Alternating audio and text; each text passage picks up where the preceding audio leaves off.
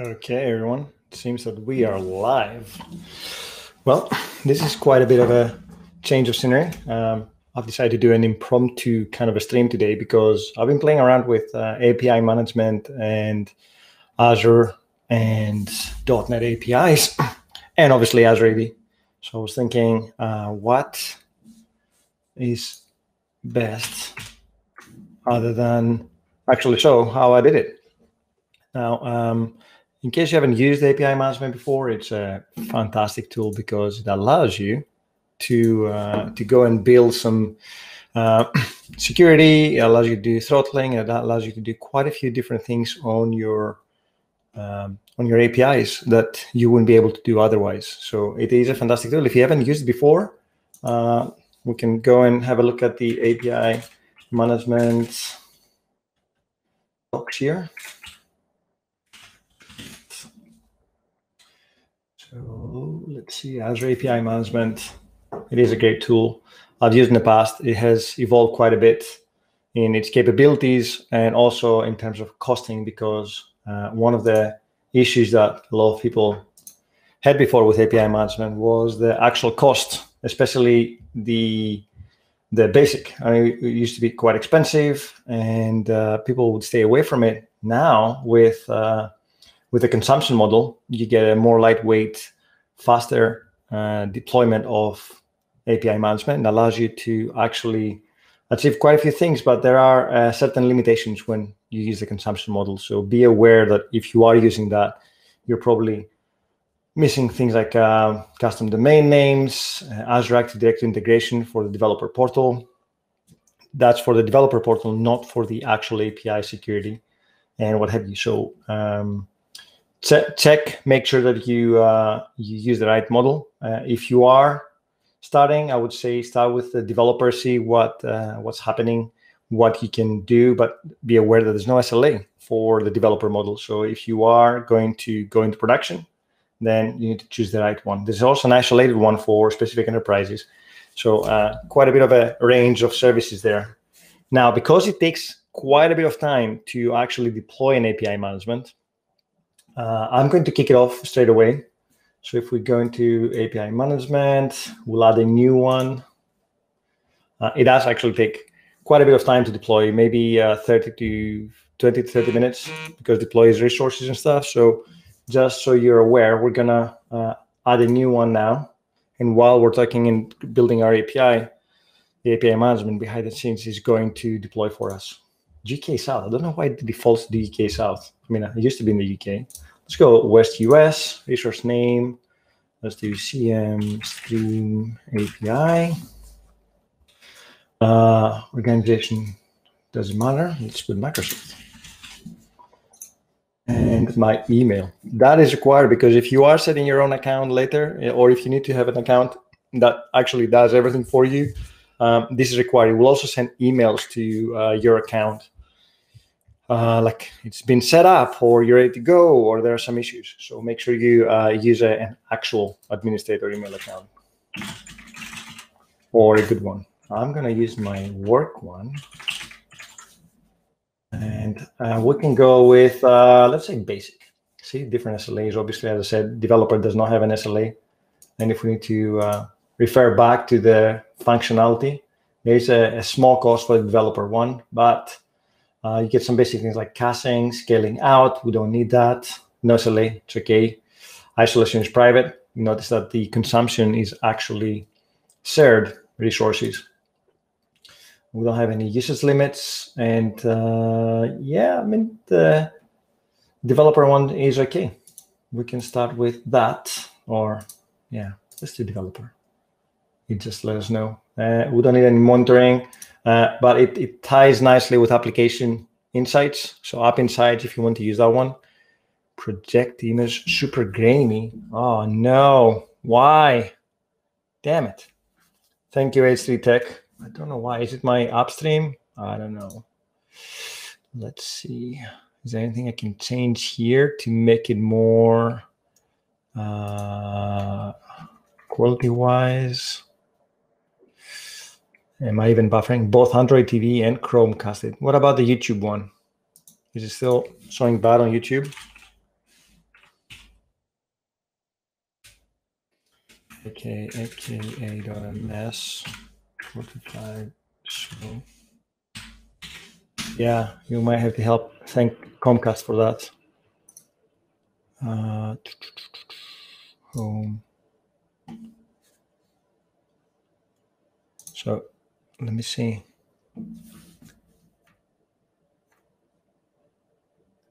yeah you're right even on even on Even on YouTube, it's grainy, isn't it? it sucks.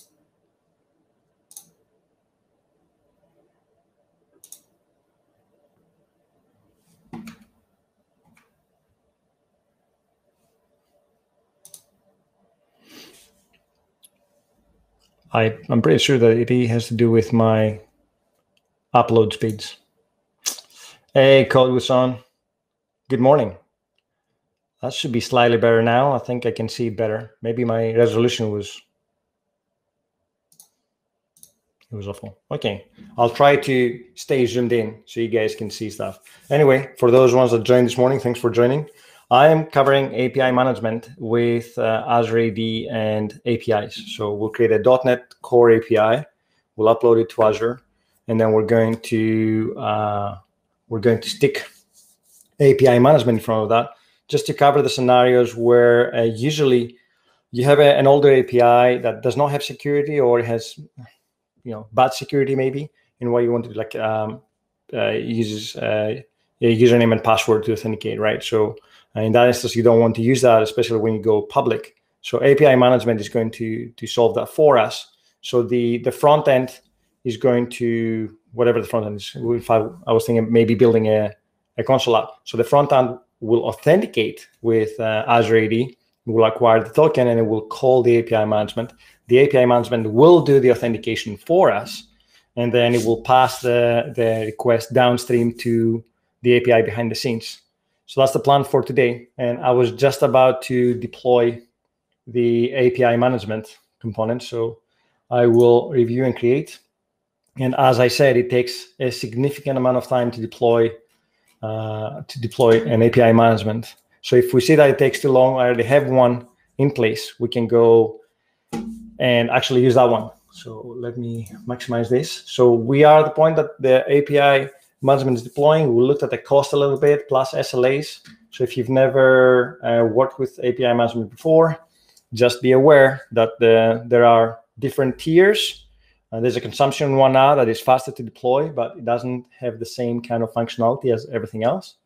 And uh, we're using the developer one for now. If you are going to production, you don't want to use a developer because there are no SLAs.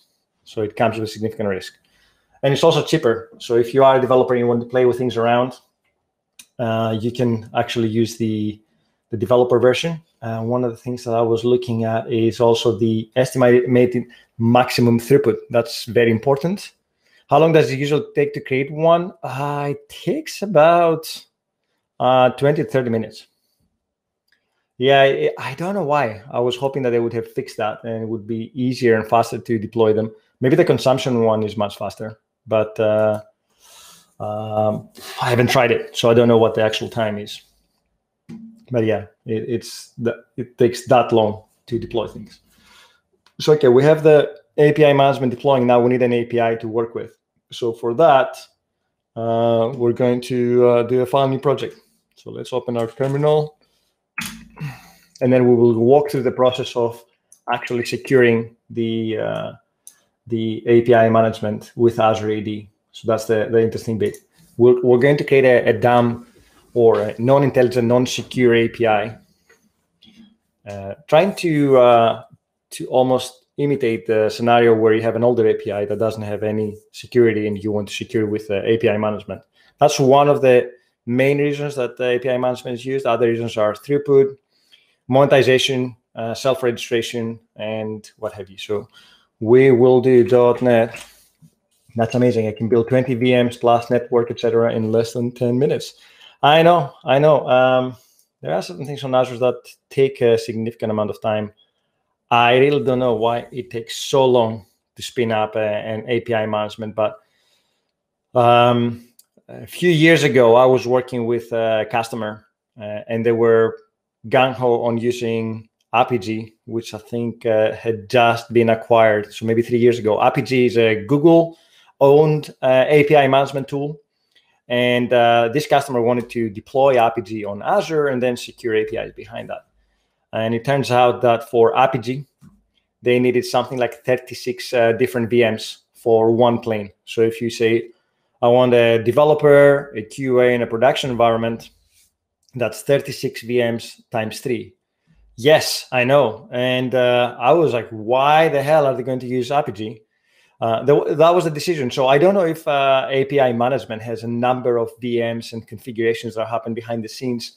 Um, and I really haven't looked into that. I don't really know the underlying technologies. So it could be the case that we're spinning up, I don't know, maybe 10 VMs, uh, one to manage the databases and infrastructure.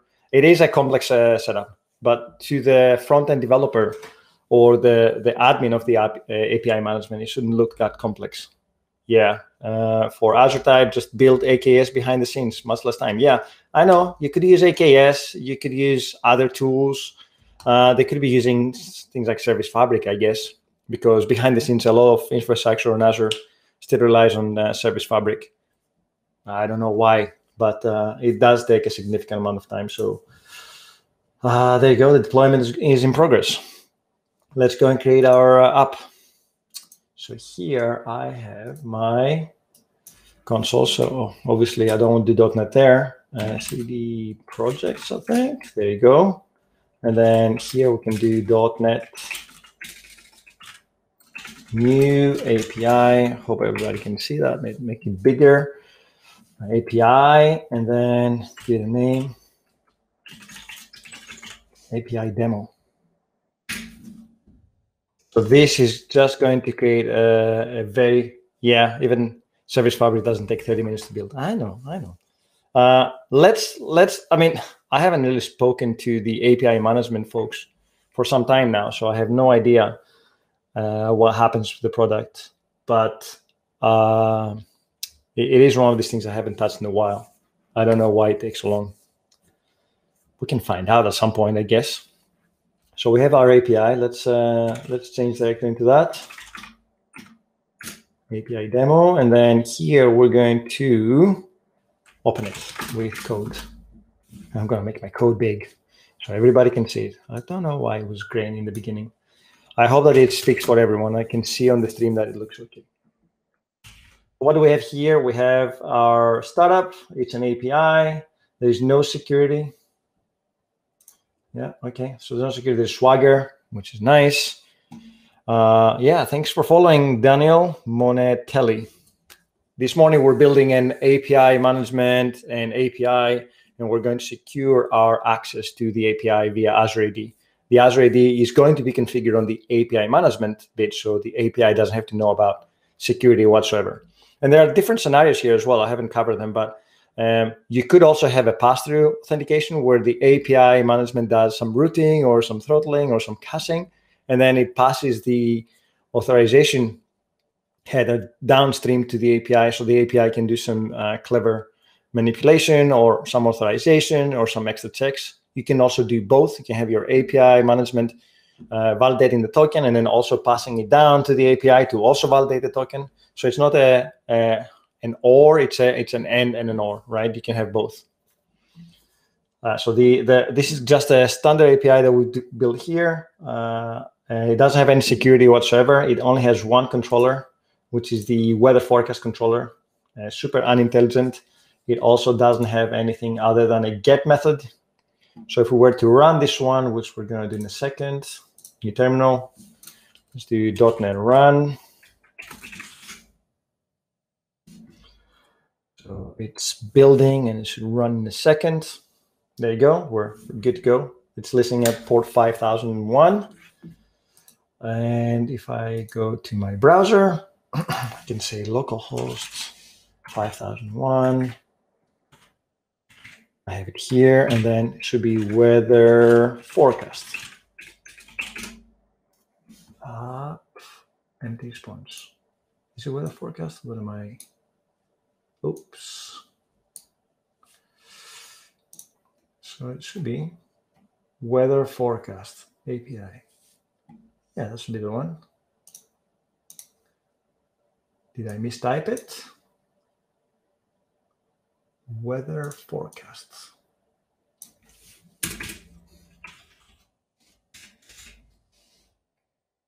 Interesting because I was working on Friday.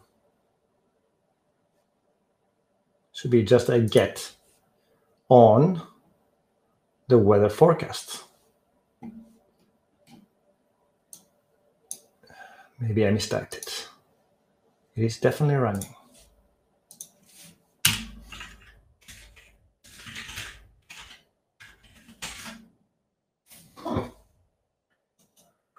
Localhost did not send in data. Ah, that's interesting. That is very interesting. Question, what theme am I using for VS Code? Yeah, thanks. Uh, let me sidetrack and go into my theme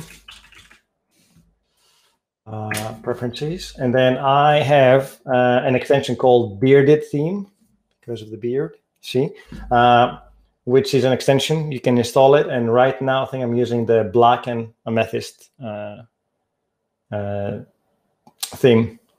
It's not as good as my partner's JP, who uh, who stream usually on Monday and Friday. So um, the most people ask for his theme rather than my theme. But thanks for asking. Uh, I hope it helps. Now let's let's figure out why the API is not working. Should be absolutely fine. There's nothing really interesting here to do other than hit the weather forecast controller. There's no API e event, so let's just check the root so we make sure that everything's okay. Uh, so if I go back to my startup, it's only when you stream that things don't work, right?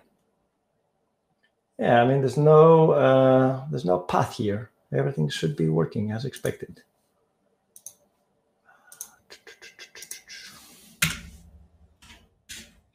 HTTPS in the front just in case, but I doubt that. Ah, ah, damn it.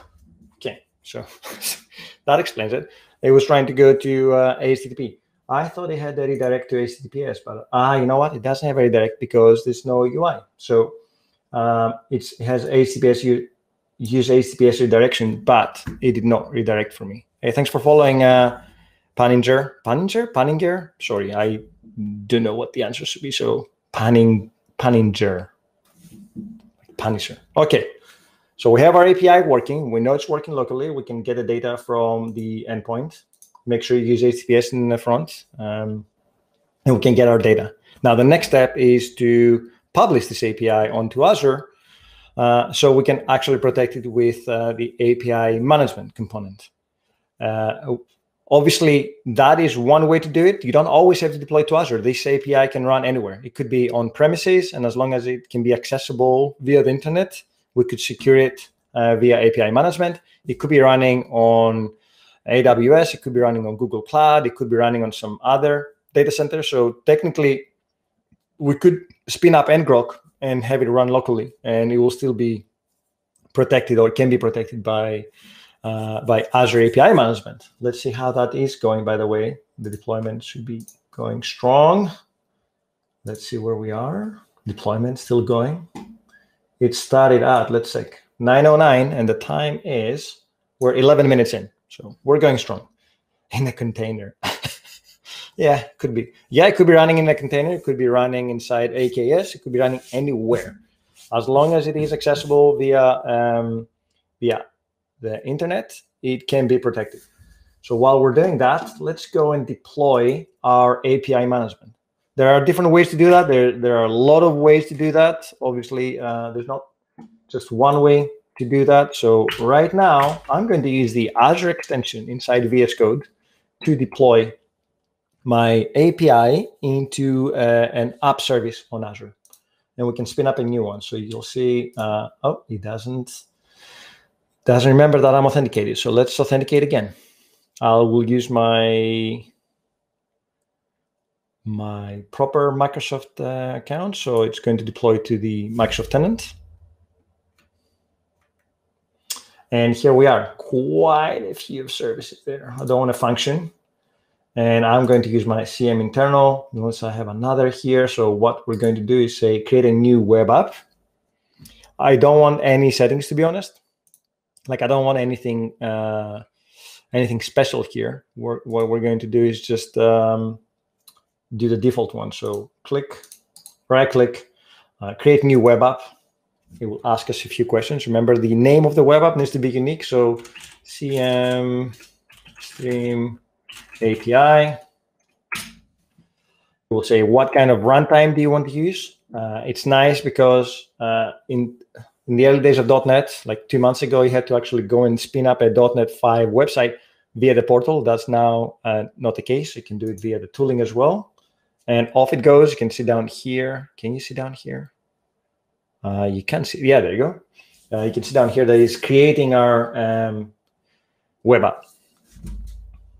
So that's spinning up the resources so I can go and deploy my API. Let's go and check our API management deployment, which I'm pretty sure is still going strong. There you go. Still deploying. But it's fine. We're not in a rush because as soon as we deploy our app, the next step will be uh, to go to the docs and look at how we can add Azure AD authentication to our app. It can be Azure AD, it can be B2C as well, so it doesn't have to be just Azure AD. But this this instance, we're using Azure AD. The deployment is done. Oh, check this out. It says, do you want to deploy your app? That's so clever, isn't it? Okay, I want to deploy the app. Yes, please. Uh, says, which app do you want to use? I want to use the current one. But you can also choose a different one if you want to. So you don't have to just select the current project. Maybe you have a required configuration deploy is missing. It's guiding me through the process. Yes, let's add the config. And now it's running the deployment task. You can see down here that it is doing it for us. Always deploy to this workspace? Yes, why not?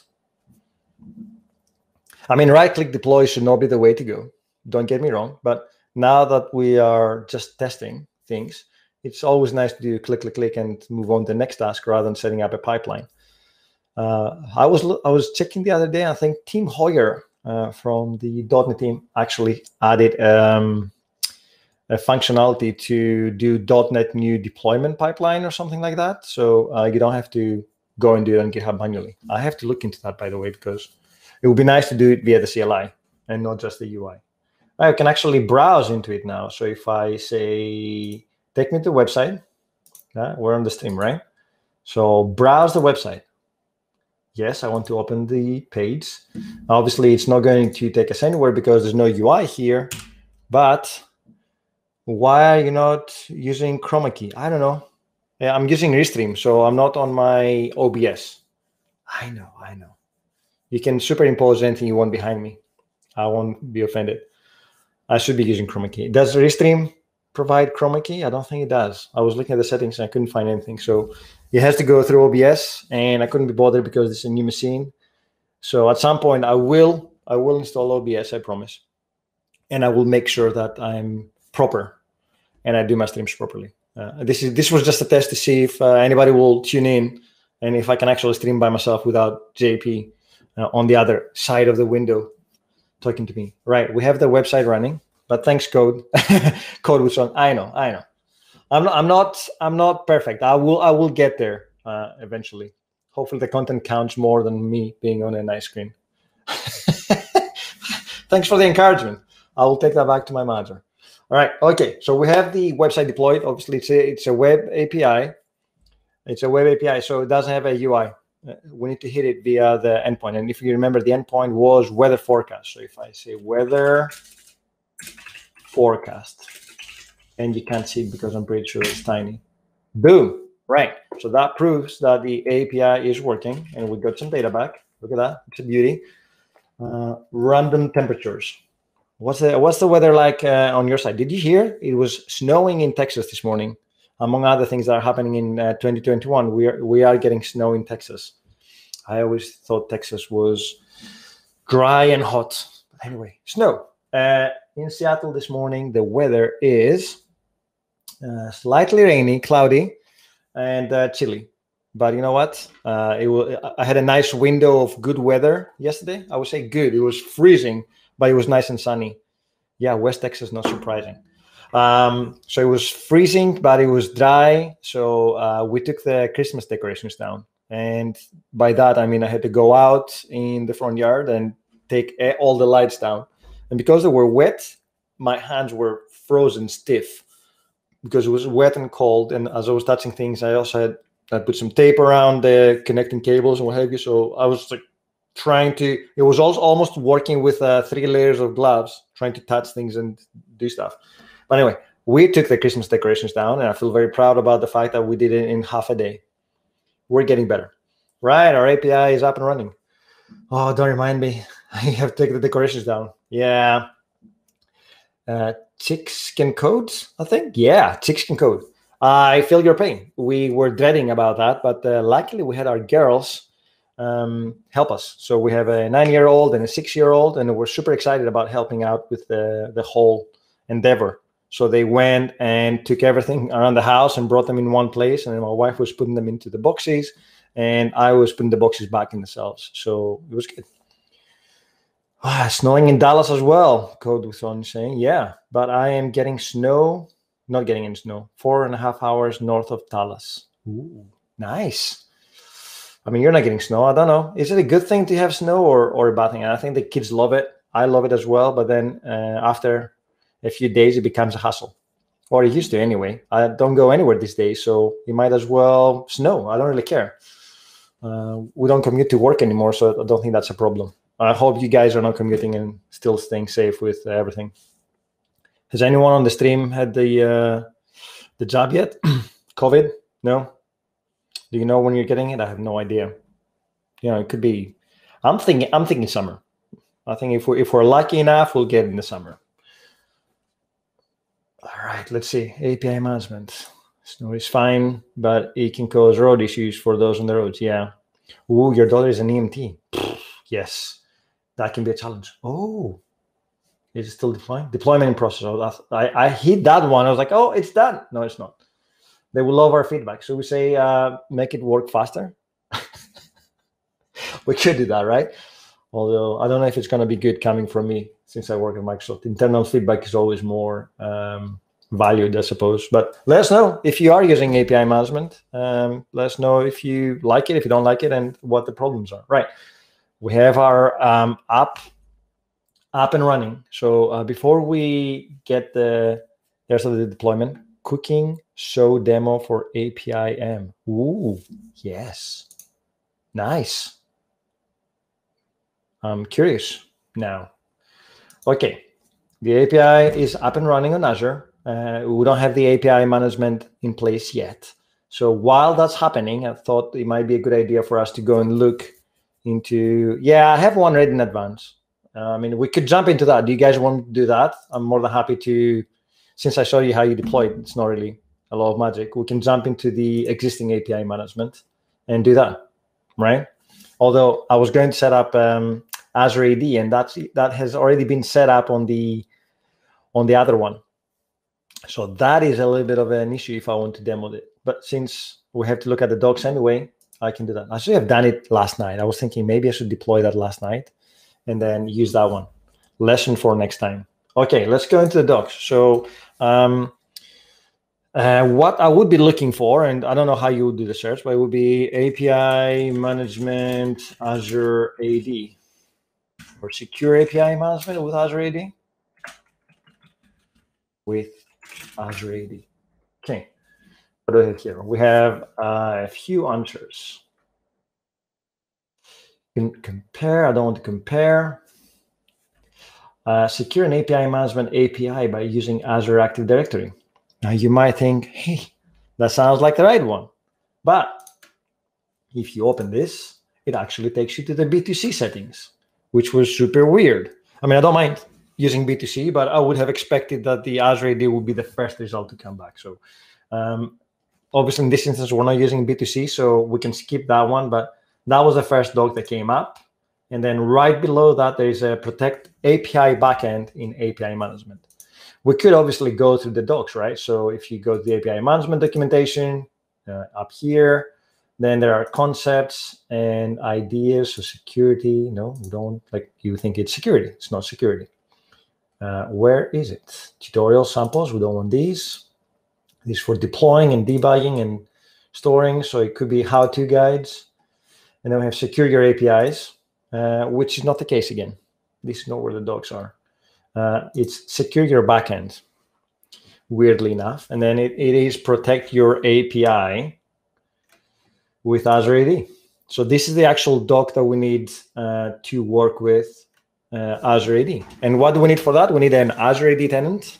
My camera has gone out of, uh, there you go. Um, what do you need for that? You need an Azure AD tenant. Very important. Uh, if you are going to use an Azure AD tenant, you need to use one that you have admin permissions because uh, you need to consent to settings. And you can't do that if you use a corporate one that you don't have admin permissions to do consent. So be aware, uh, use one that uh, it does not require that. And I have already one. If you don't have one, you can get, uh, I'll put the link, it's aka.ms, uh, 45 so, M365 free, I think. Uh, and we can always double check that. Let me uh, let me check the link. Or you can always look for M365 developer program, but uh, we have a link ready for you, so you don't have to do the search. Uh, 425Show. I'm looking at the list of links that we have. It's free M365. So see, I was uh, taking you down the wrong path. Free M365. Free M365. And you can get a free M365 developer account. that allows you to go and set up your Azure AD tenant. It allows you to uh, get graph data, OneDrive data, sample data, accounts, test accounts, and you can use that to learn and get up to speed with uh, a lot of things without requiring you to ping your admin every single time and say, I need consent for this, I need consent for that, and what have you. So we, uh, I already have an Azure AD tenant uh, in the M365 developer account, which we're going to be using today. So the first thing that we need to do is look at the documentation and decide how this needs to be set up. So first and foremost, we need to register an application in the backend. For the backend, we need to register another application for the client app uh, to represent the client application that needs to call the API. Uh, you need to grant permissions. That's the one I said. You need to have permissions so you can grant them. Uh, you need to configure the developer console to uh, call the API using OAuth 2 user authentication and add the validity uh, or validate the token, right? Validate JWT policy to validate the OAuth token for every incoming request. So not only do you have a present JWT token, but also we need to validate that. I skipped that step the other day. I did not do my validation. Okay, so we can do it today. Let's go, go to the Azure portal, to the Azure portal and back. So for that, because we're going to be doing things side by side, I'm going to stick this on one side and I'm going to take another browser and go to how's our deployment going?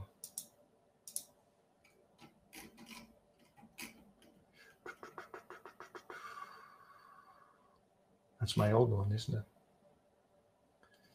Okay. Notifications.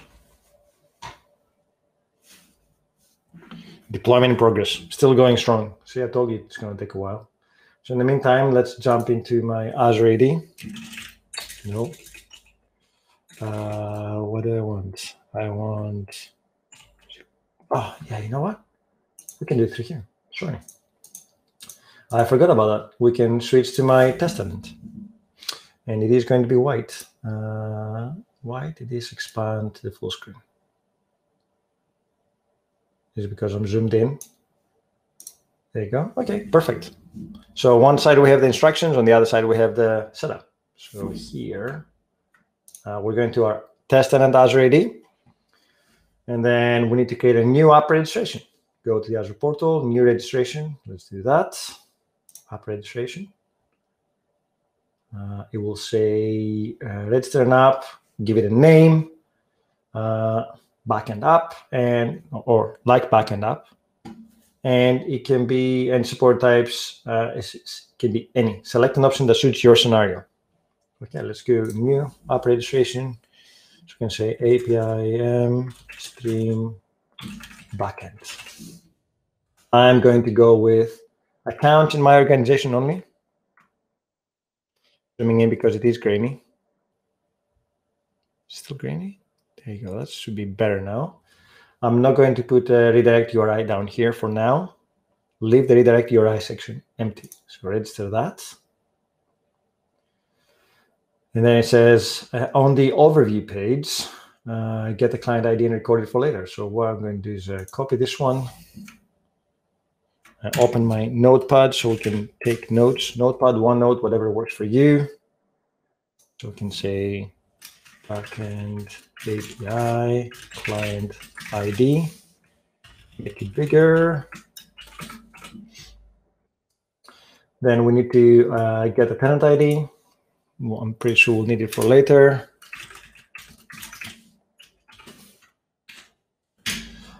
Uh, and now we need to go and expose an API. So that will be adding the necessary permissions that we need. So in the expose API down here, uh, it says add a scope page, display the add a scope. So uh, we need to set the application URI from step seven. So let's set that up. And then it says add a scope, create a new scope that is supported by the API. For example, file storage. it can be any scope. And since we're not using graph or anything else, we're just going to create a scope for the API itself. So here I'm doing an add scope.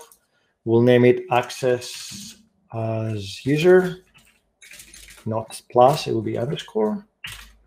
Access as user, admins and users can consent. Access the API as a user. Let's do a copy pasta for the rest of the fields down here. And then we want to be enabled and add the scope. And with that, I'm going to copy the scope into my OneNote so it can be handy for us and use it in a bit. So this is the information I have for now. Uh, I'm going to use a document on the side, and at some point I will take it away because we need to create a client secret um, as well. Obviously, I can roll the client secret, so whatever is easier. So let's do this we have everything we need. We have the scope, we added the scope, and then the scopes are created, make a note. So we've done that. So that's our backend API app registration configured inside Azure AD. Next, I'm going to create the Uh, application ID to represent the client application. Okay, let's do that. Back in the portal again, we want to create a new app registration. How do we name this one? We named it demo API. What do we name it? I can't remember. What was the name of it? You know what? We can sort by date. API stream backend. Then we can do API um, stream clients. API um, stream client. And with that, uh, what do we do next? It says name, supported account types, select accounts in any organization. I don't know. That's a little bit weird. Like, should we? I thought we're only doing accounts in my organization. So I wonder if the client API needs to be a multi-tenant app, which is the inverse of what it should be. So I'm going to keep it as accounts in my organization. If it's wrong, then we can come back and fix it later. But for now, it's there. Uh, uh, so it says that in the redirect URI, select web, but leave the URL field empty for now. So we're not going to change anything here. Select register. We're doing that. So that's the client registration. Let's copy the information. So we need the client API ID. So the, the client ID for that. Uh, so client regs, client ID. I'm just typing it into my trusty window. Then we need uh, what did it say? Select that, add a secret. Now for that, you go into your certificates and secrets. I'm going to move it away because I don't want you to see it. But it's as simple as just clicking on the client secret down here. So let me just come here. Okay, click on the client secret. It will ask you for how long do you want it. Let's say client secret. Uh, one year please avoid using never. Uh, it's very bad practice. And if you do one year, then you need to take a note that this application, uh, this client secret will expire because you can come across issues where the secret has expired and you're getting errors. And before I press add, I'm just going to take it away and hide it so you guys don't see that. You don't see my secrets. and I'm going to copy my secret and client secrets. I don't want to dox myself, right? Is that the expression? That's the expression. And I just dox myself. It's fine. I'm going to delete that one and create a new one because I am not careful. Yes, delete that one and create a new one. Client secrets. One year. I'm not going to move my, my, my notepad onto the screen again. Promise. Okay, we got that one. What's next? Uh, grant permissions in Azure AD. Ah, okay, that's interesting. Now we need to go back into our overview. So let me just bring my browser back into view. Uh, it says in the Azure portal, choose the client app, and then uh, go to the API permissions. So we were already there. Let's uh, let's go there again. API stream backend, API stream client, and then in the API permissions, you notice. Remember we uh, configured it does notify at least subscription owner of the soon to expire secret. Yes, but you as a developer, you're right, Sean, but you as a developer, you may not uh, see that. So uh, just be aware, like uh, if you're doing demos or if you're creating code or whatever, that you created that. But I agree, you should get notification. Uh, so what we have here, we have API permissions. Uh, we need to to add a new one. So add a permission, and for that, uh, we go into to go to my API. So this is down here, select an API, my API. And then down here, we have API stream backend. That's the one that we need. Yes, we want to select the access as user under the delegated permissions and add the permission. At this point, you do need to add or grant uh, admin consent. So if you don't do that, then it's not going to work. It's going to fail we are done. Okay, that is done. Let's see where our API management is sitting at. Did we get, uh, I need another window now, don't I? Yes, I do. Uh, I need to be here. Now my API management is sitting under my Microsoft tenant, but my Azure AD is sitting on a different tenant, my own tenant. Uh, is my API management ready yet? Oh, it is. Oh, it's still activating. Come on. Yeah, almost there. What is it saying? Activating. Might take a couple more seconds for that to work. But does not stop us from actually configuring our API management. That's great. So we can go ahead and do it. So the next thing that we have to do now that we have the Azure AD component done, we need to go and configure our API management uh, to actually use Azure AD for authentication. So let's snap them again to the side. Don't know how that's going to work. Uh, okay, what do we need to do? Enable OAuth 2 user authentication in the developer console. At this point, you have created the applications in the Azure AD, granted permissions. The developer console in, is the client app. Ah, you know what? First, we need to add the API. We haven't done that yet. So APIs, click on that. That's none the steps. Service is getting ready. Oh, come on. Come on. You can do it. Come on. You know what? We could actually jump into my demo and then we can use that one. Just a note: the MS docs are so much better these days. I know they are a lot better. Um, I have to agree. Although I did found a couple of gaps in the documentation. Also, uh, correct me if I'm wrong and tell me what you think. But I would have loved to have some images here that guide you through the experience. Uh, in other docs, we do have that. So when you create app registrations, there's either a script or a, an image that shows you where you need to go uh, yeah, 99% is fantastic.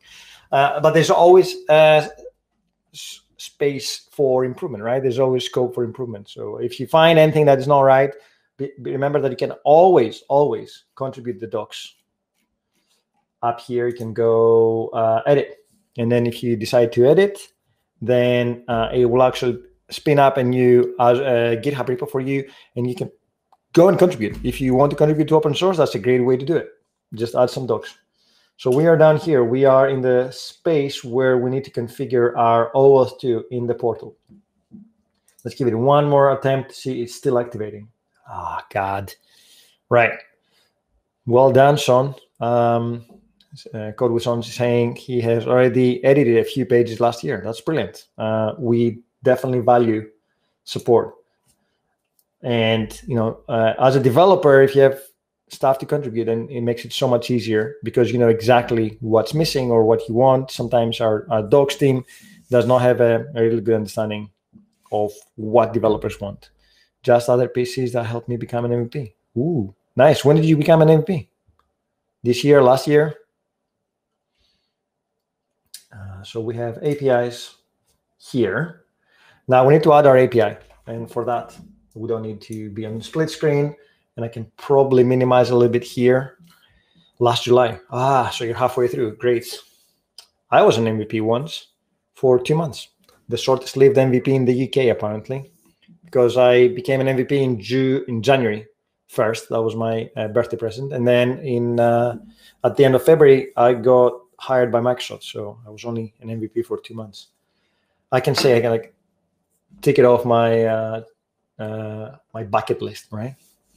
Okay, okay. Now we do have an API. As you can see, there's different options here to uh, to add uh, APIs. You can have a WSDL definition. You can have a WADL definition. Uh, so WADL is the open API. You also have open API. You have um, WSDL is the old WCF stuff. If you're still dabbling with that, you can also add logic apps. So if your logic apps are exposing HTTP endpoints, you can add them here. And as you can see, app service and function apps are first class, so we don't really have to define uh, an open API. Even even our even though our API itself, the .NET code, the .NET Core code comes with a Swagger definition, we don't need to use that one. We can directly point to an app service, and um, it will be intelligent enough to work it out. So, app service. Then here it says select the app service. Let's browse to that. We already have the one for the stream from today. Let's use this. Uh, display name, yeah, we can keep it as Stream API. Uh, same name here. URL prefix, we don't need a prefix. We're good there. And let's go and create that. So before we even add uh, one more fields, uh, what? URL suffix. There. Is that enough? Ooh. Cannot create at the same path as Christos API unless, oh, fine. I delete my previous one. Damn it. Or change the path for this one. Yeah, let's change the path for this one. Uh, front end, is it front end? If I remember correctly. No, no. Discard what do we change? Settings. Okay, it's under settings. So here, the suffix needs to be, I don't know, that's the uh, test.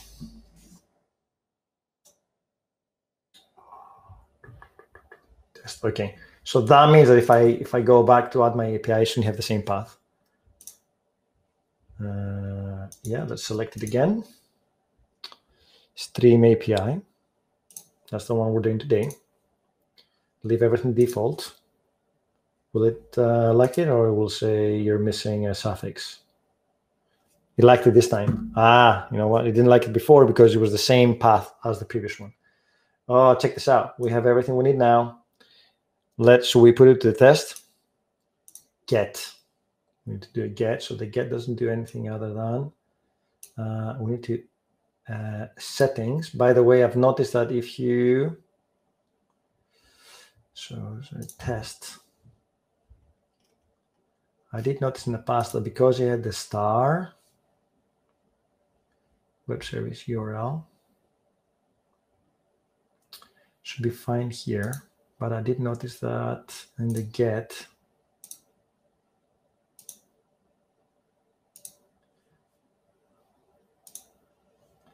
yeah, we need to remove the star from here. Otherwise, it fails on its face. So now we should be able to test it. test here and say, oh, we need to change the backend settings. It's been a while. Be patient. Uh, web service URL. I think it is weather forecast. Save. Didn't like that one. Save. Didn't like this one either. How do we set this one up? Discard. Let me go the back one. Right. Christos API, no settings there. Design. Change that one. Subscription key, weather API. Yes, for the auth. Uh, MVPs, thanks for following. Oh, csharpfritz is following me. Yeah, man, following us. It's a 45 show. Thanks for joining us. Uh, Jeff, today we're doing API management with Azure AD and .NET Core API. So we're at the point that we have our API management almost set up. Uh, we have our API deployed to uh, an Azure web app. And we have we're configuring the API management now to be able to hit the uh, backend API, and then on once we do that, we can go and configure. Just not here yet. So, oh, what do you mean he's not here yet? Maybe he followed without really joining the stream. Doesn't have to be here. Remember? Or maybe he is behind the scenes. Adler and Elias. I don't know. Um, so this is where we are right now. I just need to remember. Oh God, csharpfritz is rating us with 113 people. Thanks for joining us, man. That's a, a massive raid. Welcome everyone. It's awesome to have you here. Uh, what have you been working on? Damn. Yes, to sign my ID. Yeah. Thanks for joining us, everyone. Uh, it is fantastic to have you here. We are working on API management and Azure AD. So securing or protecting your APIs using uh, API management. If you haven't used it before, then you join at the right point. Oh, we were writing Azure functions with Service Bus. Damn, that is good. I love me some Azure functions. It's usually my uh, go-to for creating things. So you don't always have to. Uh, they're very powerful. Service Bus, though, I haven't touched Service Bus in a very long time. So, uh, man, I missed that one. Thanks for joining us. I might have to go and check your uh, your stream later on to see what you guys build. So thanks for joining us. We're just at the point where we're configuring our API to work, and uh, we have our API management set up. Well, almost. Let's see. Is it set up? API management services. Uh, still activating. So we spun up one this morning. What time? Nine nine nine oh nine, and then it's still deploying. So uh, it is a little bit slow to deploy if you're doing it from scratch. Uh, and right now, we already have one that we can work with. So uh, CM demo APIM, that's the one that we deployed before. And we're configuring our backend API so we can actually go and hit it before we add any security. And thanks for everyone for following. Marquez NL, thanks for following. Uh, it's awesome to have you here. So uh, let's go and see our APIs. Let's see where we are. Uh, we have three APIs. The Echo API is just a demo one. We don't need that one. The CM Stream API is the one that we configured today. So here we are. Uh, I can't remember. I think I need to set something up because otherwise it will not work. But we can always test it. Okay.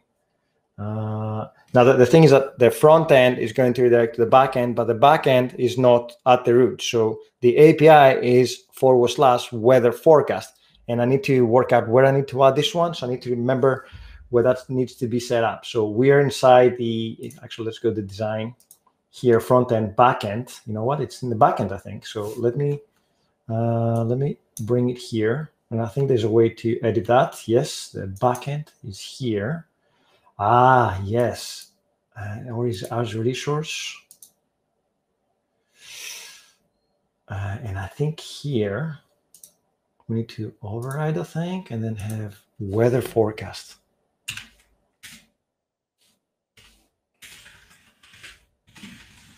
It says resolution to fit the stream or zoom in. The stream looks a bit pixelated. I know, I know. I don't know why. I think it's my upload, uh, my upload stream, my upload quality. I only have 35 uh, megabits upload. So hopefully now you guys can see what I'm doing. Yeah, and I agree, it's pixelated. I hate Comcast uh, in other news because coming from the UK, I was super happy. Um, upload is fine. It's the downscaling to 1080 source. Oh, yeah. Maybe what they have selected a different um, resolution for the downscaling. You think, uh, or oh, it's gained because downscaling. Okay, so I think it's be here. It's weather forecast. We'll find out very very soon. By the way, next time. next time, yes, right. Okay, uh, I'm thinking, in fact, that you have a contrast issue because the stuff with a black background is super clear. Oh, could be interesting. Thanks, dear Flux. You're right. It does look better when I have the, the black background. Damn, I don't want it to be super grainy. I want it to be super sharp for you guys. So I think it's weather forecast. We can save it and test it and see what happens. Uh, maybe the stuff is a bit shaky. The black background still do. Okay. Uh, invalid service URL. So is it this one then? Invalid service URL. Does it need the full HTTP, uh, the, the full endpoint? Maybe. Let's give it the full endpoint. And we do have that one. If we go into our, is it on the other browser? Could be on this browser over here. There you go. That's the weather forecast. I'll select this one and see what happens. As I said, I haven't used, uh, so let's save it. Okay, now I think we have everything we need to run it. Uh, so I want to install the dark theme. Yeah, everybody loves dark theme. I mean, I love dark theme, but sometimes, sometimes you have to uh, to go with what the the tools are giving you. So right here, I don't even have a choice. My my portal is dark theme, but API management has some screens that are white. So with that, it means that if I go and test my API on the get, sorry, I'm just uh, zooming out a little bit so you can see what I'm doing. And then I'm going to send it. Send. Right, it's working. We know that it is working. We get some data back. Super grainy data. I get it. Super grainy, but it is working. So that's brilliant. We have our temperature data coming from the API, which is awesome. With a little bit of uh, configuring there, I can remember what I need to set up. So that is working there. Next step is going back into our docs to see what we need to do to configure the, uh, the security. So it says if you want to use Azure AD with API management, you need to enable OAuth 2 uh, in the developer console. We are in the developer console uh, uh, over here. So you notice that down here, there's an OAuth 2 setting. And apologies for the grainy, ooh, it hit the way. Okay, so let's do it. We have our app registrations, by the way. So for those of you that have just joined us, there's a requirement further up in the docs that requires you to set up two different um, settings. Uh, one, sorry, two different app registrations. One is for the API management itself, and then there's another one for the client. And we have registered both. We took the information from the uh, a, uh, from the Azure AD, and then um, we're in the process right now that we are going to add that information into the API management. So this is the stage that we are just now, uh, an hour into the stream. Out of curiosity, these are still activating. Is it Sunday morning and nobody wants to activate my API management? I don't know. Yeah, it is working. I know it's working, but we'll we'll use the one that I had from before. And lesson for the next stream: if you have resources that are going to take for a very long time to deploy, deploy them beforehand. Um, you know, I could have done it last night, but I wanted to show you how uh, you said it. So uh, DFlux is having issues with a Blazor project. Right.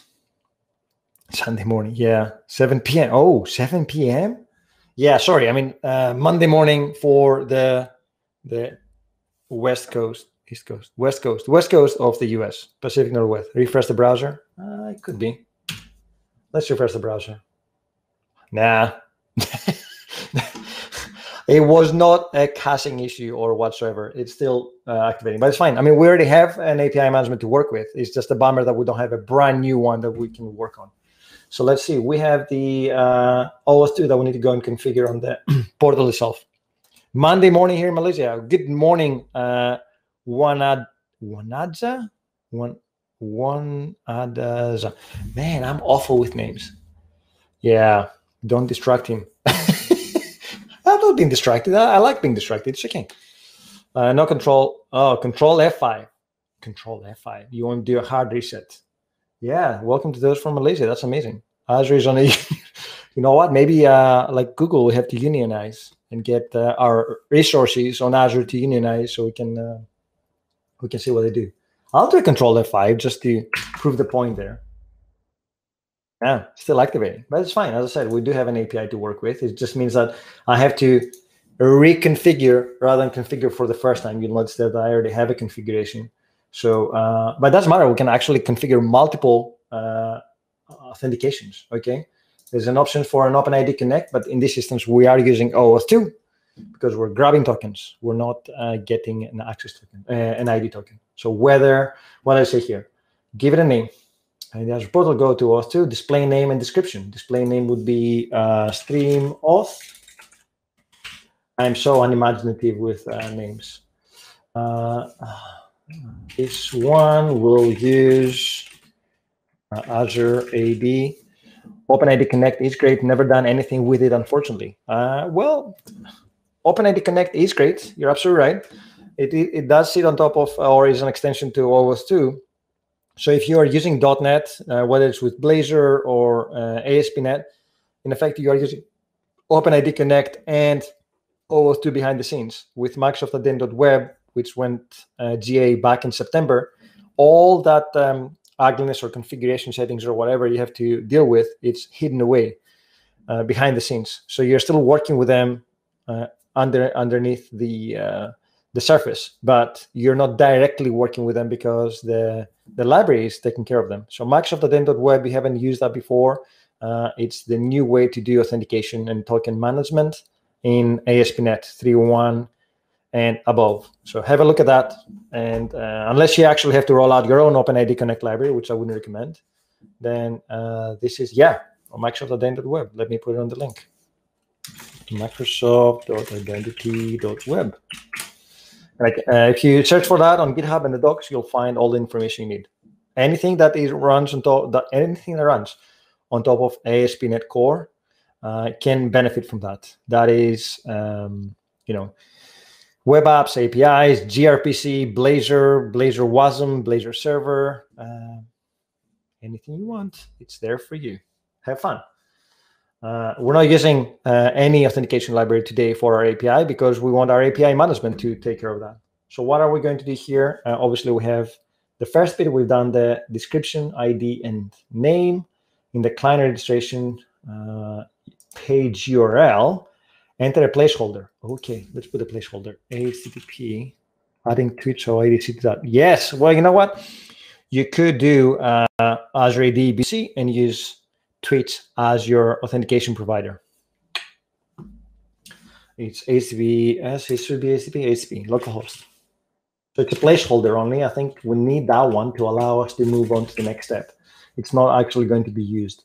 For authorization grant types, we want to use authorization code, which is the one that we currently have selected. Specify the authorization endpoint URL and token endpoint URLs. Right. So that we need to go and grab from our other browser. Somewhere around here, we have another browser. We do indeed, uh, but I don't think I have my, oh, there you go, perfect. So if you want to find information about uh, authorization endpoints and token endpoints, the easiest way to do it is go into your app registration and then hit the endpoints at the top. And here you get both. And since we're using authorization endpoint v2, we're going to grab that and go back to our other window and put it here. don't have to worry about that. Uh, then it says grab the, it needs to be a post. Step seven. And for step eight, copy the token endpoint. Let's go and grab that one as well. Token endpoint v2, we're using the v2 endpoint. So down here, adding that. If you are using the v1 endpoint, add a body parameter named resource. We're not using a v1 endpoint. We're using v2 endpoint. Um,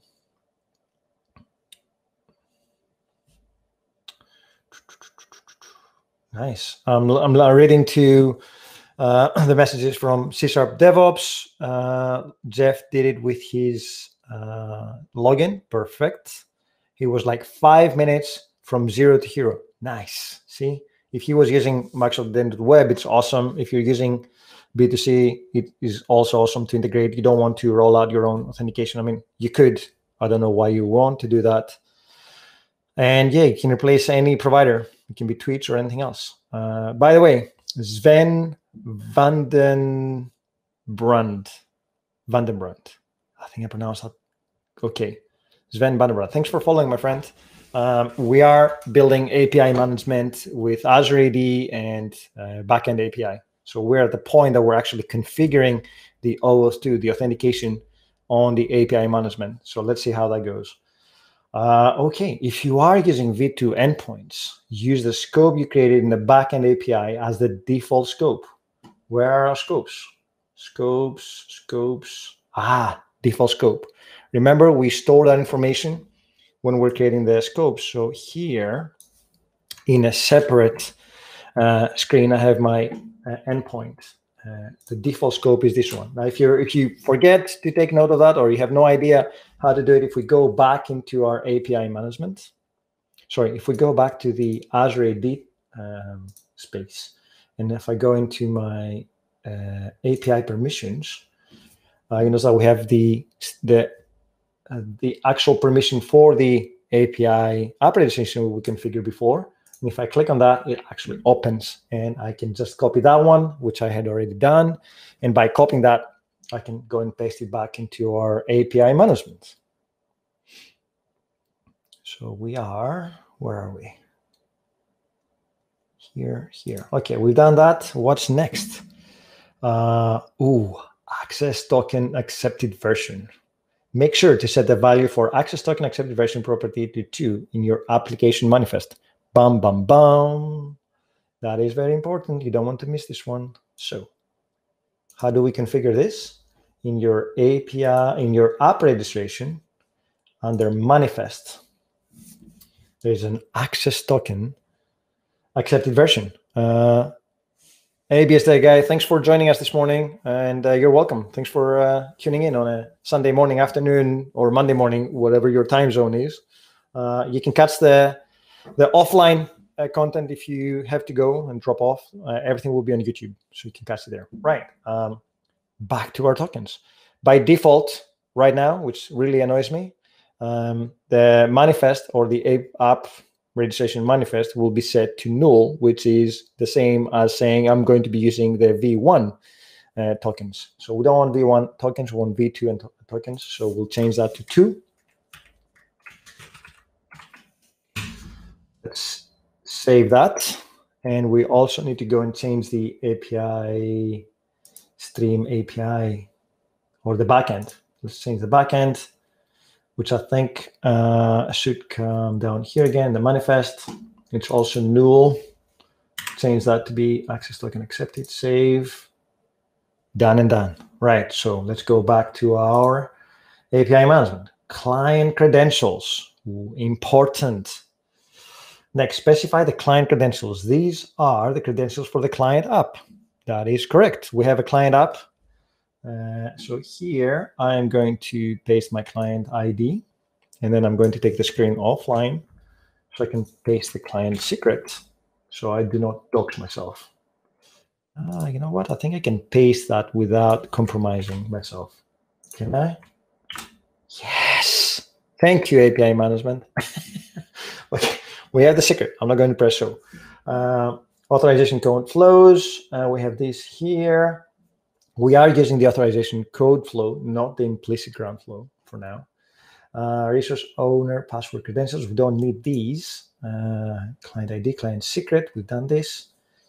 Uh, URL, make sure to note this URL. Oh, we need to note them. Oh, yes, we do need to know that because we need to go back to our uh, app registration and fix it. So it says make note of that. I'll put it on my uh, trusty notepads, OneNote, whatever you want to use. And uh, select create. Oh, there you go. We're creating that. StreamAuth. That's the one with a nice description. Now I have to go back to the client app. Christos, mind if I post the link to the user group meeting you and JP are speaking at this Thursday? Yeah, man, absolutely. We are joining you this Thursday, right? Really looking forward to it. Uh, feel free to share that, and uh, we'll look forward to actually uh, joining you. Right, we are at the point that we have configured the OAuth2. We need to go back into our app registration and fix the last setting. Uh, okie dokie. So that is back into our uh, browser here. Uh, need to go back to the client app, not the API uh, registration, but the client, uh, the front end. And here under authentication, remember we left the URL empty. It doesn't remember. So it needs to be a web. Under platform, select web. And then in the redirect URI, put the one that we just copied from uh, this. So what this one will do is say when the request comes in, the response from Azure AD needs to go somewhere. The response is that endpoint uh, that we just put here. So the request comes in, Azure AD authenticates that. Azure AD is happy with it. Now it needs to send back the tokens. So here, that's the URL that we need to use. Let's save this one. So configure. So it says now that you have configured OAuth 2, the, the developer console can obtain access tokens from Azure AD. Nice. The next step is to enable uh, OAuth 2 user authentication for your API. That is correct. We've configured the authentication. We haven't added to our API yet. So let's go back to our portal. To do that, you need to uh, browse to your APIs. Back to our APIs. We have the Stream API and we have the Christos API. We're going to be using this one. Uh, you need to uh, well, it says select Echo API. We could do that, Echo API. But we're going to use the Echo API just to prove that things are working right, and then we're going to uh, to go into the other one. Go to settings, and then under here, you'll notice that there's a section for uh, where security. Uh, you'll notice that it already says OAuth 2. That's because I've used it before or I configured it before. But uh, in this instance, uh, if you were doing it from scratch or if it was the first time, it would say none. So we need to change it to OAuth 2. And then from here, it says, what kind of authentication do you want to select? Remember, we can have multiple. We can have an OAuth 2. We can have some custom one. Uh, so uh, since in this instance we have already configured it, let's go and add the StreamAuth. That's from today. Uh, and uh, under security settings, security OAuth 2, and save. Save. It says successfully call the API from the developer portal. Uh, this section does not apply to the consumption tier because the developer portal does not have um, an endpoint. Okay, so what is the developer portal? The developer portal is uh, here. So API management comes with uh, a, a, developer portal as well that allows you to configure things. He actually sets up a whole new website. Maybe that's why it's taking forever to deploy. I don't know. Maybe it's setting up SharePoint behind the scenes. Uh, please don't take my word for that. And the developer portal uh, opens. A, it, it's it's almost like a it's like a, a, a website you can log in you can provide that website to your customers as well, so they can come and register themselves and be able to access that. Uh, it's a whole beast there, so you can definitely go and configure things. You can change the look and feel. You can customize it to be totally branded to your enterprise. Uh, as I said, it's very very powerful. What is really annoying is that when you browse to the developer portal, if you come from uh, Azure AD, sorry, if you come from the Azure portal to the API management portal, it actually thinks that you are an admin and wants you to edit the page. And I have no idea how to come out from this one. Honestly, it was a pain in the backside. So the only way I found that you can uh, use it as a user is to open it in uh, in a private window. So let's open that in a private window. So private here, signing in. I need to sign in anyway. So you, will see that it's not uh, it's not interactive anymore, right? So I don't I can't change anything. I need to sign in. Ah, sign in. It's been a pain, right?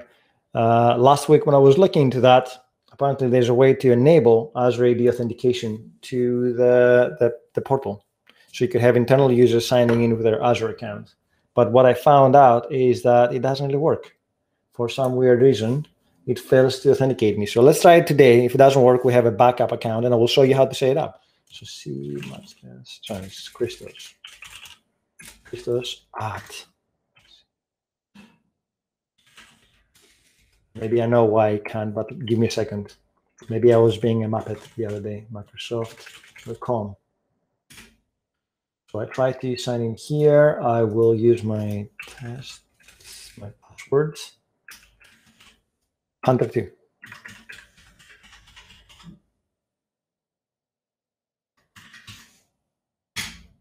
Oh, you know what? It's not. I need to uh, open my password manager because I don't remember it. So it should be. Please use your password managers. Sign in. Let's sign me in now. Oh, I'm getting a two-factor authentication.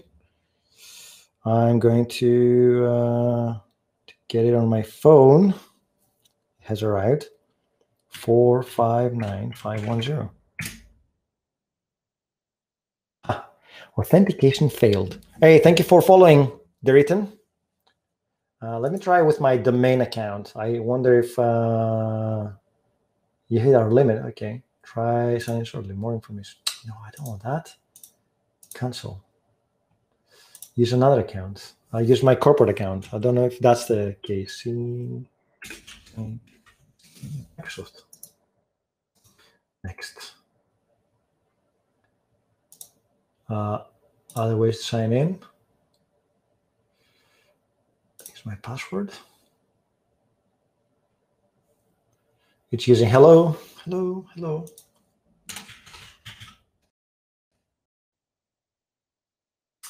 Yes, so it's interesting that it doesn't let me do that. So for some weird reason, the Azure AD authentication for the developer portal does not work.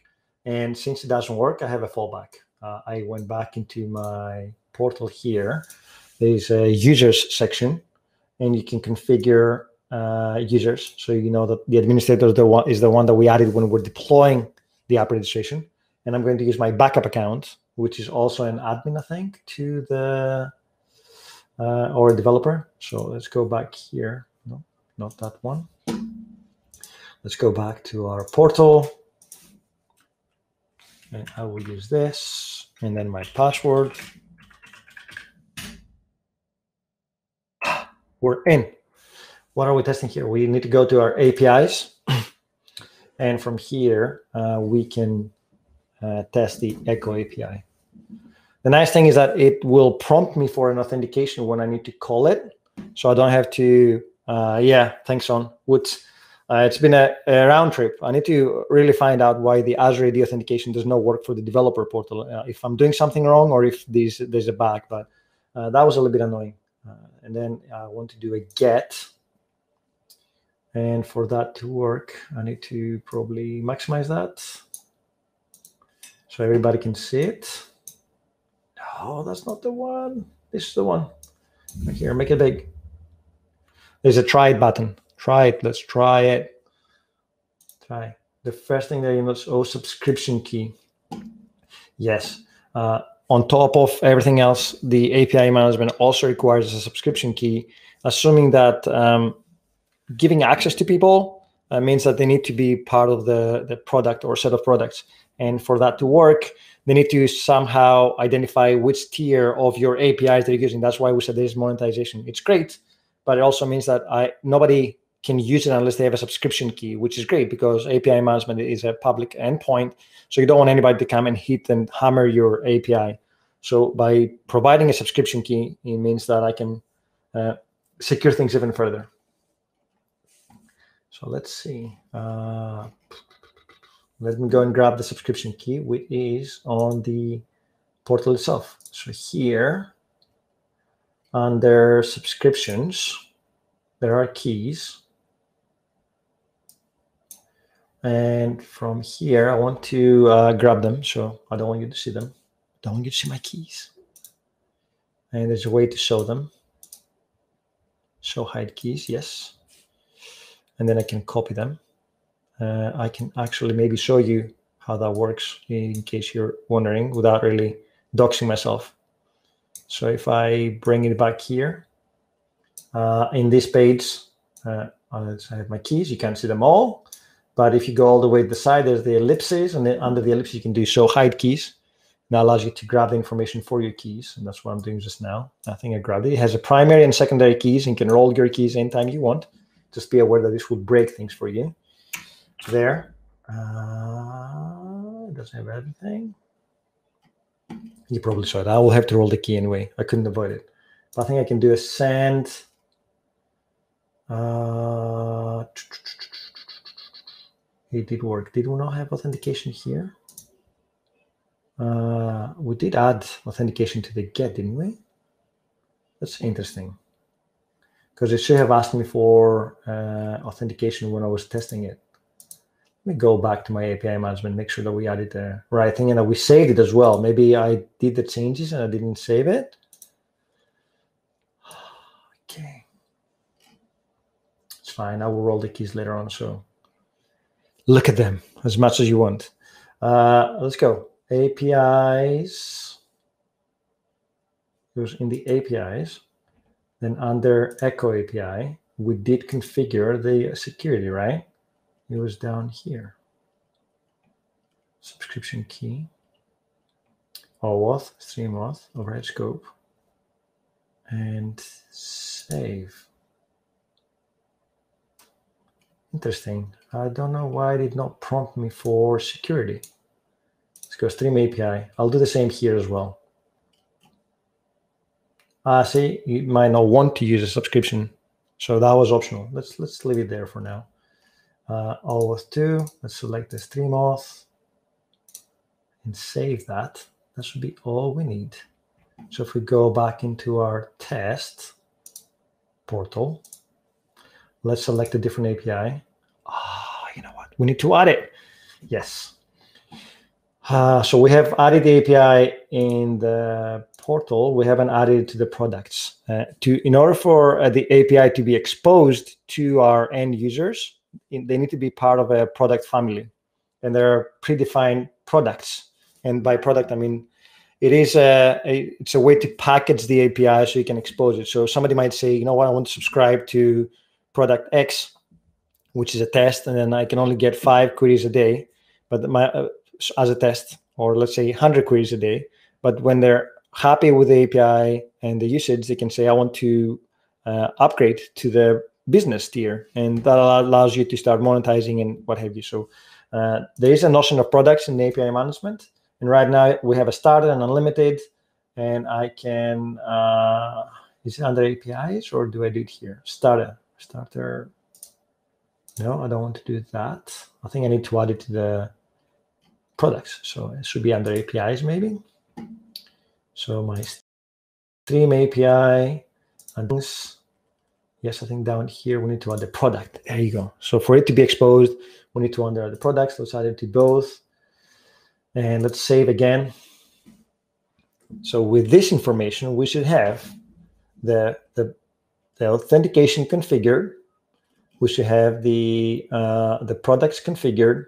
And we need to require subscription key and auth to for um, for authentication against our stream auth that we just configured. Okay, let's go back to the developer portal and see what we uh, what we get. So we need to refresh probably to get all the APIs. Let's see, echo. Ah, there you go. There it is. Hey, thanks for following Grommet. I hope you're having a great day. Uh, we're doing API management with Azure AD and uh, and .NET Core APIs. Stream API get. Will this work? Let's find out. Subscription key. I think I still have it pasted there. There you go.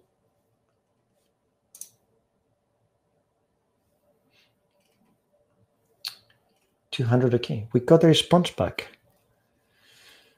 Interesting. You should have prompted me for authentication. Let me check the uh, the one I was working last time. Don't want to, I want to get. Try it. Oh, God damn it. I forgot about that. Yeah, let's go back. Duh. Right, Chris. It's I know it's early in the morning, but you need to get up. You need to wake up. Right. The reason why. Oh. Oh. Authorization. Subscription key only. Yeah, where did I miss? I think I missed something here. I think I missed something here. We did set up the authentication, right? Because if you notice, the one I was playing last time, it says, what do you want to do? I want to try it. And then when I try to use it, it prompts me, for, it says, what kind of authentication do you want to use? Uh, I, so it's definitely something in the settings that I missed. Uh, we have security. And uh, I am a little bit surprised now because it should require authentication.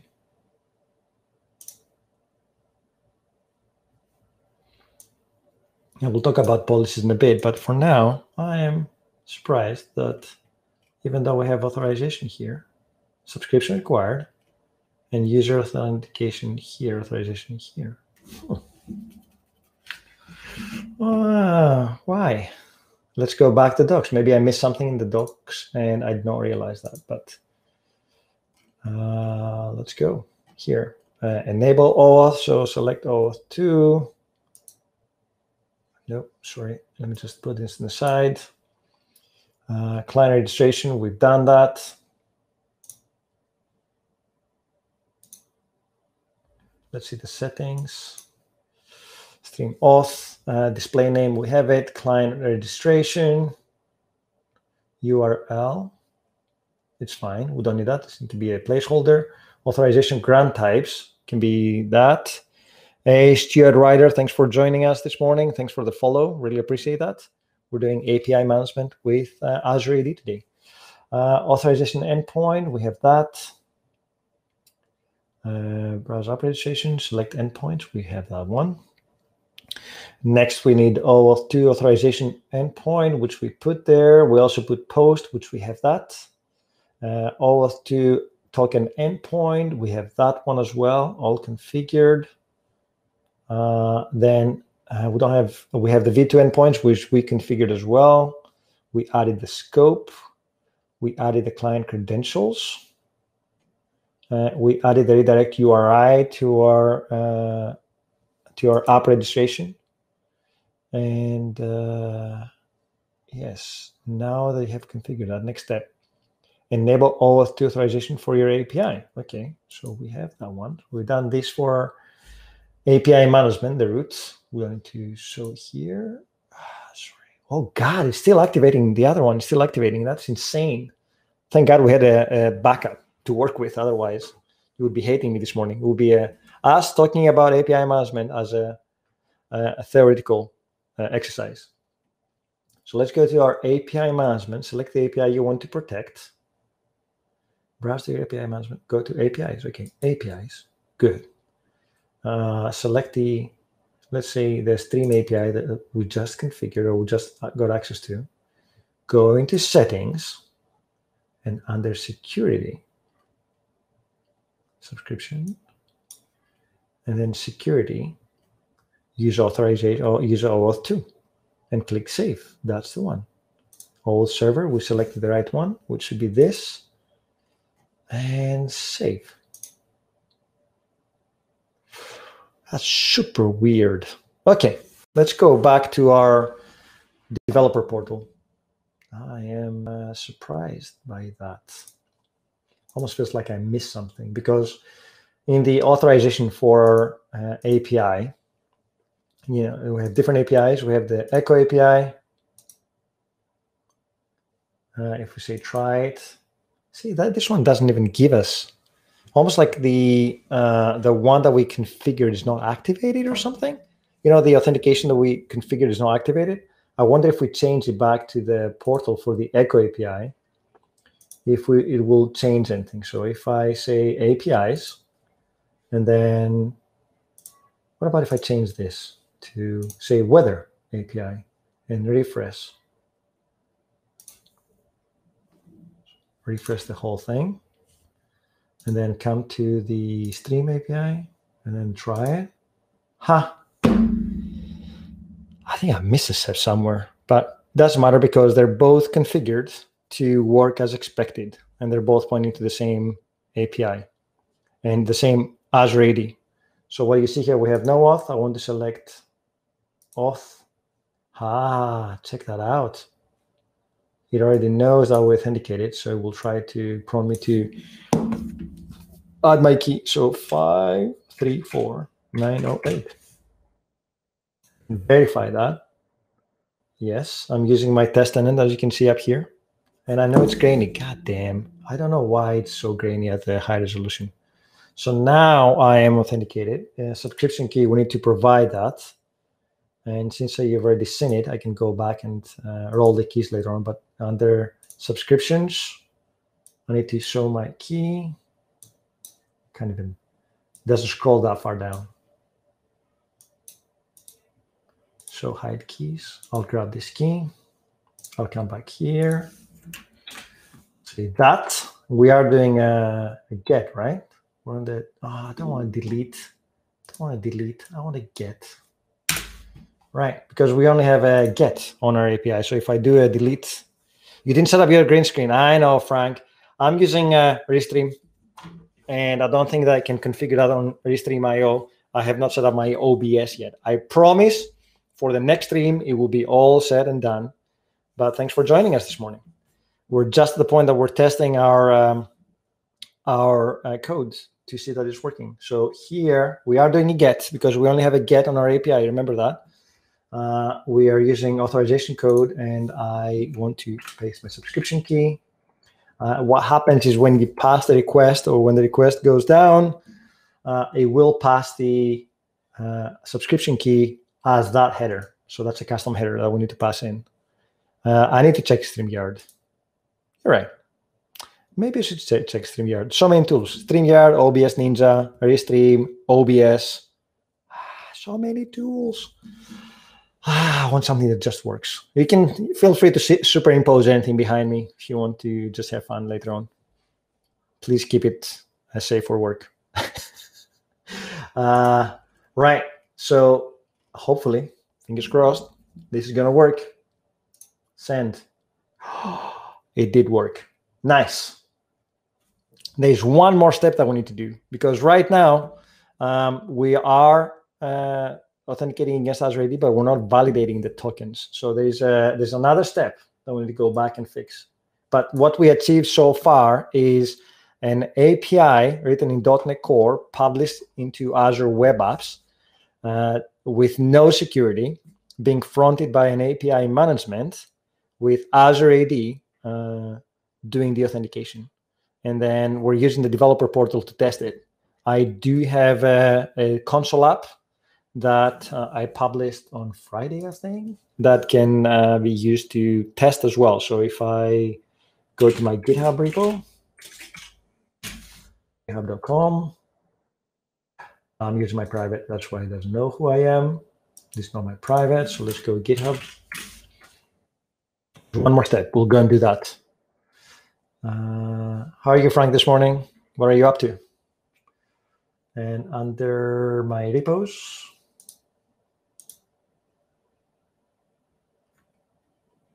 API and test client with auth. I did write a console app that uh, takes some settings it is Frank. Yeah, it is Frank. Frank is here.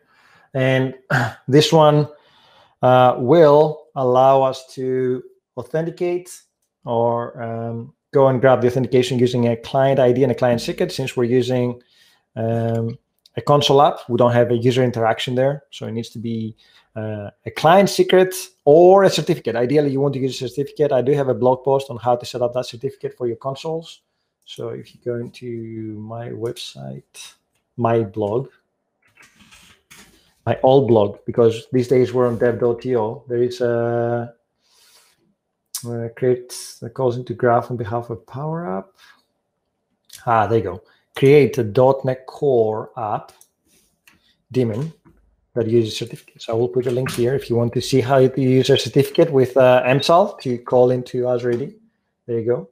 And uh, with this code, you can also run the client. So that's a client. You just need to add two settings. Uh, if I take you the settings page, there's uh, an app settings file that expects either, well, in this instance, I'm using a client secret. So boo, boo, Chris you don't preach what you talk or you don't you don't do what you preach right? So there's a client secret. You can add it as a net secret and net user secret add and then add it so you don't have to compromise your source code. And then the api m key needs to match the api key that we have here. So you need to provide at least one subscription key that is valid for your apis and with that you can run the application. Uh, obviously you need to change the endpoint Right now, I'm using my own endpoints here. But uh, once you acquire your token, which this is what it's doing, gets it gets the access token, creates the client credential uh, auth provider, and it gets the access token, which puts it into a local static uh, property, and then we make a request. And in the request, all we do is uh, create a new HTTP client, set up the authorization headers. We also set up a custom header for that OCP APIM subscription key, which it grabs from the uh, configuration file. And then we pass the URI. This can be any URI you want as long as it matches your uh, configuration inside API management. Now, now, now, let's go back. We have one more step to do. Successfully call the API. We've done that and we can prove that it's working, which is great configure JWT validation policy to pre-authorize requests. says at this point, the user tries to make a call from the developer console. The user is prompted to sign in, which we saw that, right? I got prompted. It gets the access token and then it includes the token into the API request. But it does not protect you from passing any random token, right? So it says, what if someone calls your API without a token or with an invalid token? Hmm. Um, for example, you can go without the authorization header, or you can pass any random noise into the authorization header, and it might work. So we need to use the validate JWT policy to pre-authorize the request in the API management. Uh, the following policy into the inbound policy section. Let's go and do that. Uh, uh,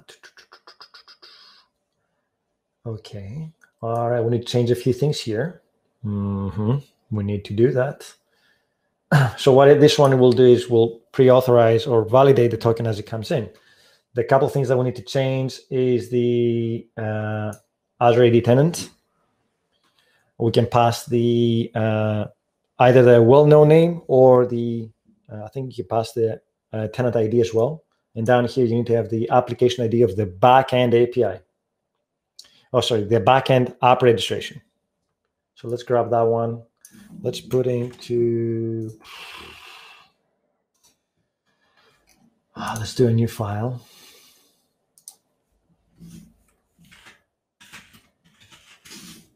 I mean, we could name it policy.json, right? Uh, let's change the Azure AD tenant. And to find that information, we need to go into here in the oh that's the yeah sorry king. Uh see much guess we need to go to the back end. Uh, endpoints. I don't think that will give us the right endpoint. I don't want that. I want to be in the overview overview and the tenant name is there or we can use the tenant ID as I said, but let's let's use that one for now, see if that works, and then we can go and change it.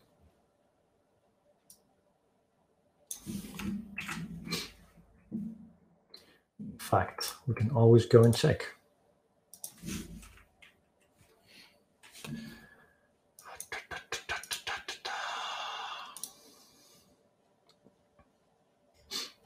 And the app registration endpoints.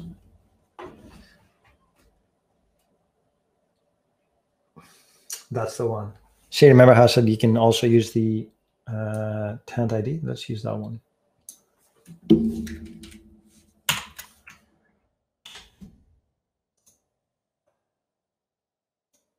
And I think that that's, that matches the URL, right? So login Microsoft, uh, well-known endpoint, and then Open ID configuration. Let's make sure that this is the same.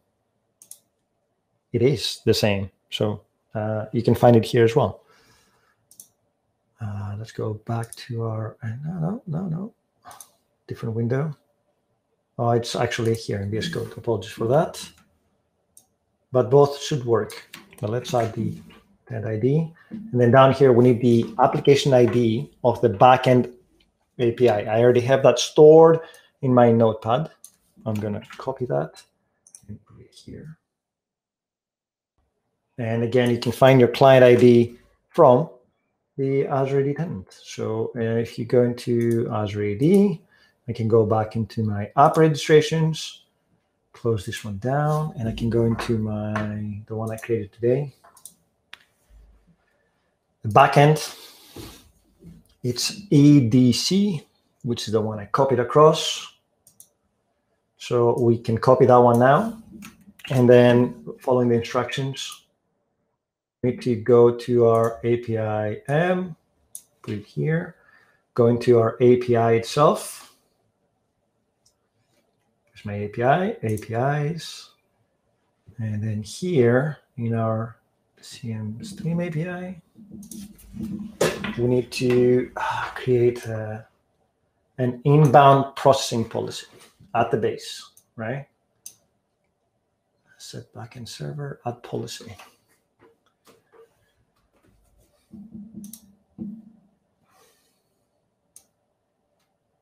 Ooh, let me see what this one does. Haven't been here in a while. I wish the zoom in did not mess things up so badly. Local storage in. Oh, ah, validate JWT. There you go.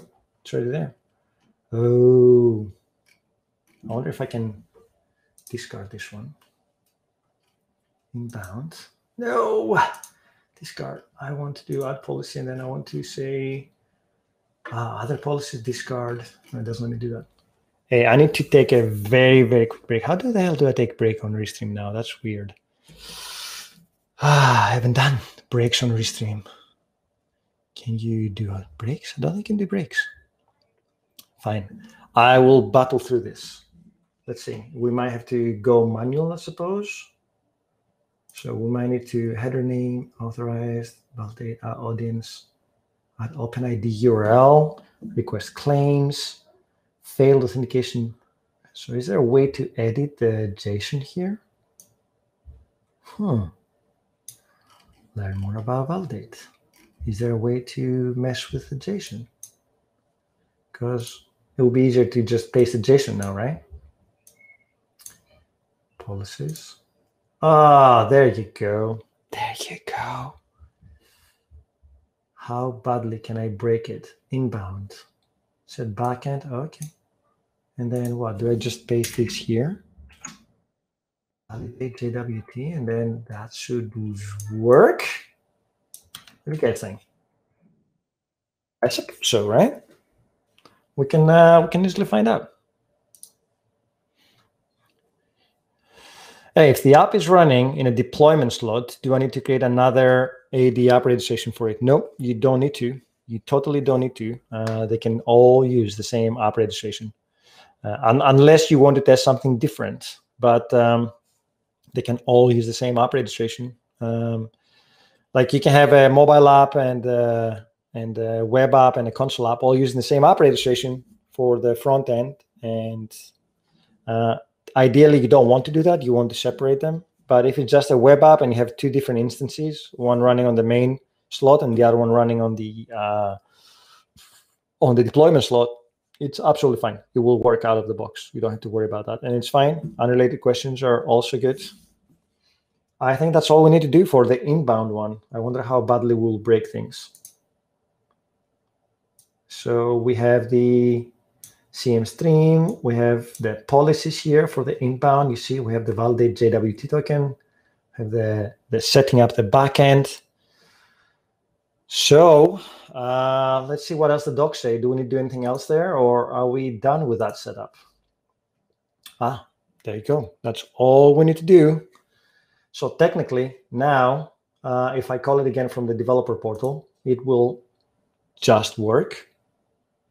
Uh, yeah, we're here. So here, let's do a refresh. And we're on the CM stream. We're going to do a get. We're going to try it. We're going to say I want auth. You remember my credentials, so don't have to do sign in. That's awesome. And I need the subscription key, which I definitely don't remember. I need to go back and get it.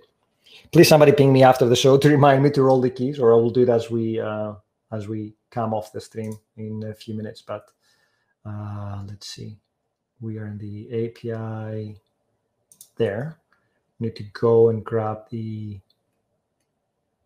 the keys from the subscription again, again and again. I'm just going to take it aside. Sorry, no doxing. So hide keys. I'm going to copy the key, which I think it's going to be there anyway. So screw it, I will need to roll it. Uh, there, we got the bearer authorization. And now, oh, check this out. Push, paste the key there. Is it going to work? Unauthorized access. Token is missing or is invalid. That's interesting. Now this is coming from the inbound, uh, from the inbound validation, right? Token validation. So why is it not liking it? It says unauthorized. But why? Why would it be unauthorized? So it's the application ID of the backend. That's what we did and there. Uh, this OpenID configuration response to V1 endpoint. For the V2 endpoint, use the following URL. Ah, you know what? Maybe I just use the read the, instructions, Chris. So down here, let's see here. What do we do? We were in the APIs. Yes, in the APIs again, further up. And then in here, under CM stream, we have our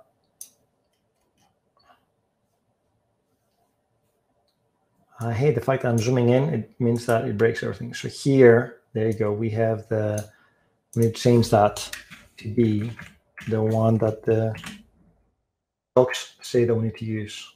Okay, so let's say maybe that was it. Maybe that's all we needed to. Hey, thanks for following SBLU 1977. Really appreciate the, uh, this morning uh, coming and following us and watching what we're doing. So with that information, I don't think we need to save anything. That's all done. Let's go back to the developer portal and test it. I will refresh for good measure. We're in the get. We'll do a try. Oh, I, need to, I need to paste that key somewhere. Damn it keep on forgetting.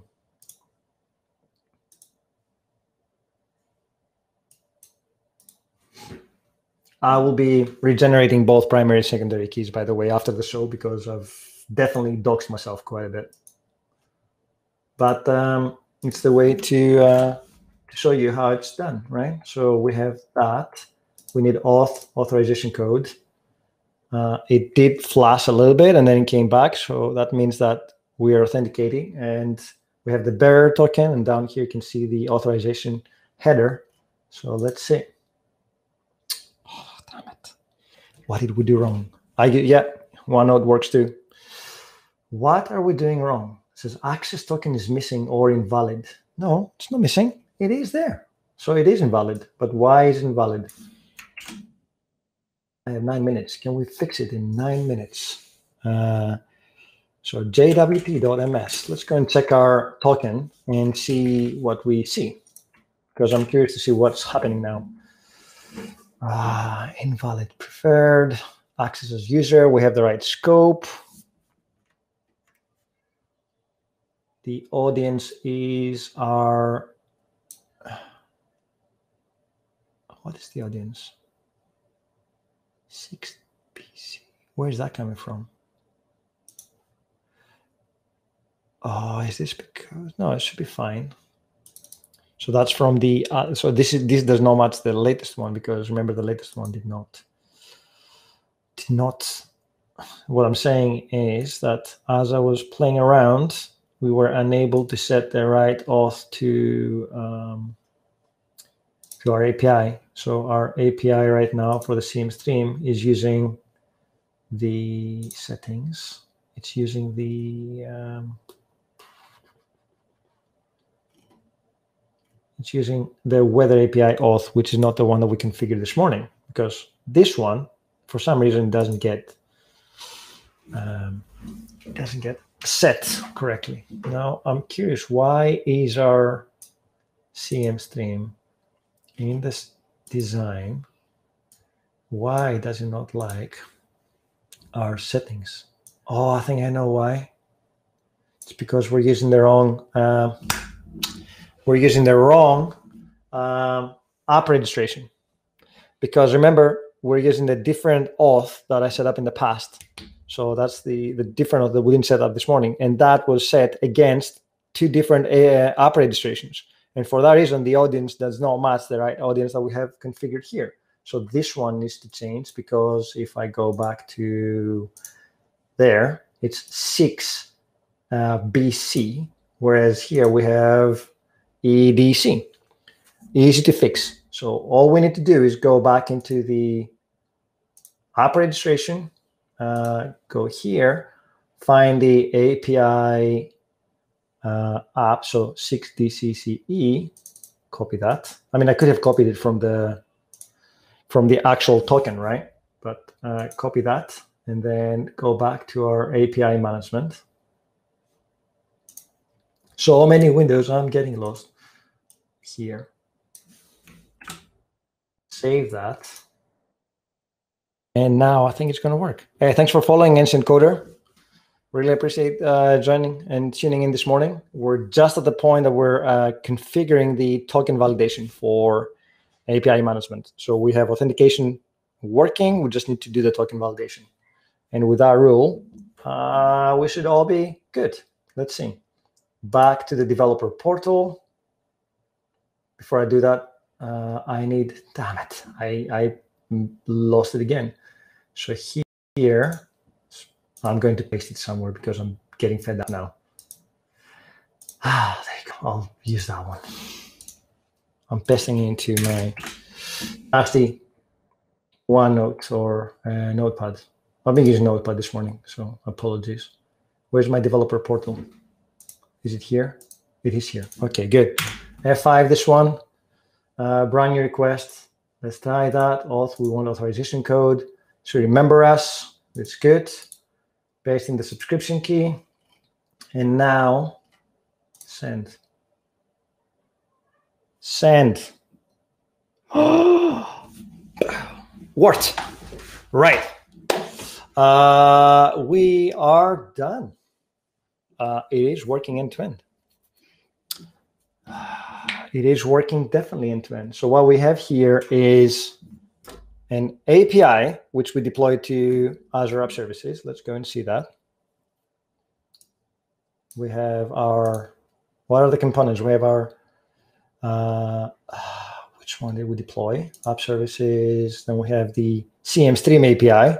That is just a dumb API that does not have any authentication. And we wanted to protect this API using API management. So rather than me rewriting any code to go and change the existing API to do the token validation, we're using API M in the front as a proxy to our API to, to secure it. And then we went into the API management portal.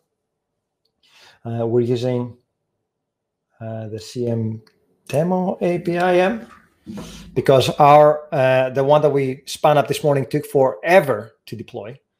So we did that. Uh, in the APIs, we added our uh, new API, the System API, which is the one we deployed to Azure App Services. And from there, we configured authentication, which for some, which uh, for some reason did not. Let's see, this one. I wonder what the difference between this one and the other one is. Did I? I think I misconfigured something here, and for that reason, it thinks that it's not active or whatever. Um, because they should be exactly the same. There, there. Client ID, client ID, client secret, client secret. They should be the same. They should be the same. I don't know what's changed. Singing to myself now. Uh, they are the same. I like the only thing different is the description. Uh, and in the API itself, in the API definition, we decided to use the authentication. And to, in order to do that, you go into the settings, and down here, uh, you say, I want to use authentication. OAuth 2. Now, if I use StreamAuth, for some reason, it just doesn't like it.